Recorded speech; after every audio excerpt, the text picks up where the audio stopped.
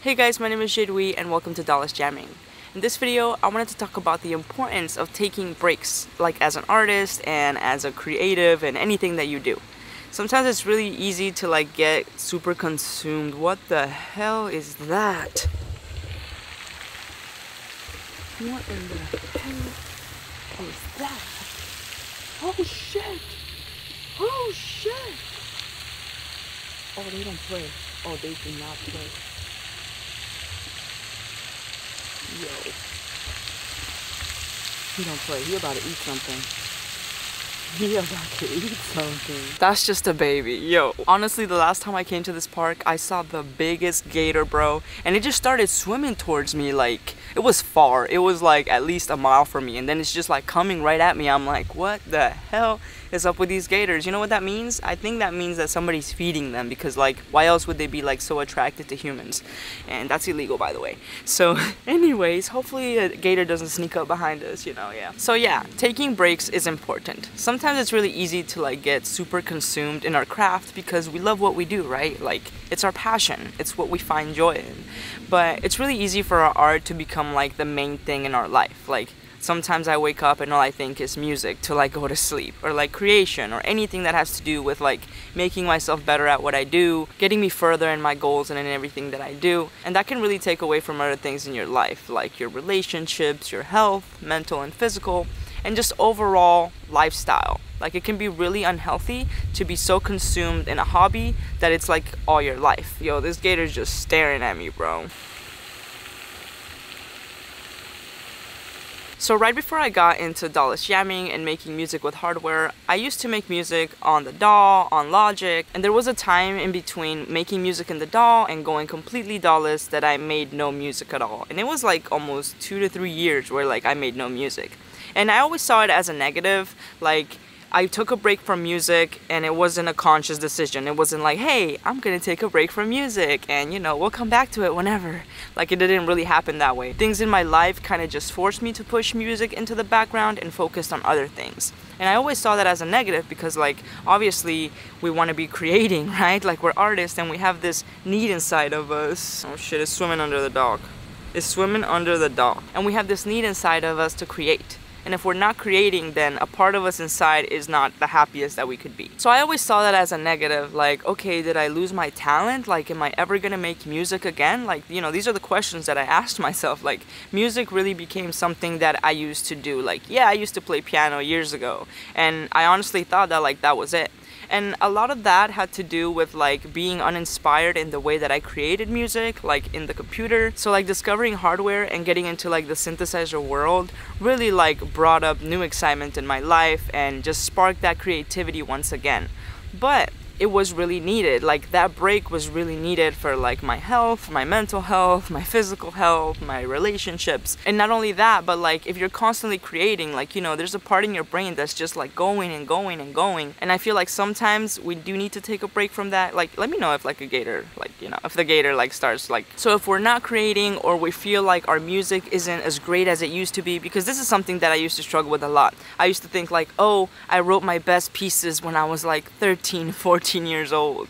And you know I'll never be able to get to that level again because that was just like such a magical moment I was writing classical piano and it was just beautiful like I'll never be able to reach that level again and once you put like that limit like you know you're doing that to yourself like you're the one telling yourself like that was my best moment but in reality your best moment is right now what you're doing right now, what you're doing to get to that next level in your creation. And being an artist is really a lifelong journey. We take breaks sometimes and that's okay. And that's kind of where I've been lately, like taking a break from actual music creation cuz like there was a time from like 2017 to like early 2021 where I was like going hard every single day. And like I said, other things in my life needed attention. And I constantly saw them being pushed back, like by me and then eventually life kind of forces you to take a break like okay you're not going to take a break on your own so you know we're going to make you take a break and that's kind of what happened and i feel like this second time around like taking a break from music because i haven't really like made music daily for i don't know maybe three months four months.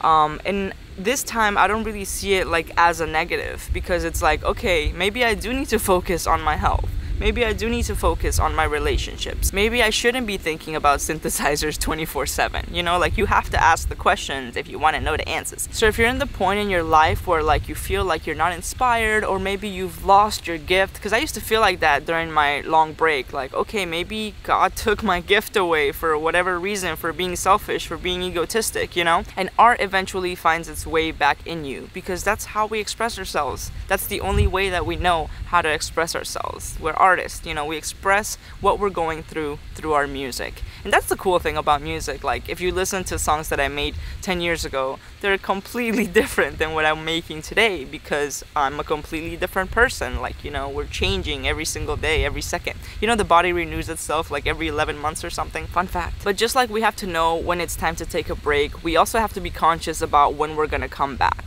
because it's very easy to just be like, okay, I'm taking a break. And then that goes on to, as you saw, like two to three years from my experience. So it's like, how can you introduce yourself back to your art without having it be like stressful or without it taking over your life completely. I'm reading a book right now called The War of Art by Steven Pressfield. I'm like in the middle of it, but so far what I've gotten from it is like there's this thing called resistance that artists feel. And one thing that real artists know that fake artists don't know is that the hardest part isn't creating. The hardest part is sitting down to create. And like that like pff, blew my mind because it's so true. Like the resistance of like sitting down to do your work is a lot harder than the work itself. That's why discipline always beats talent if you ask me because like it doesn't matter how much talent you have if you don't know how to use it properly, like what are you going to do with it?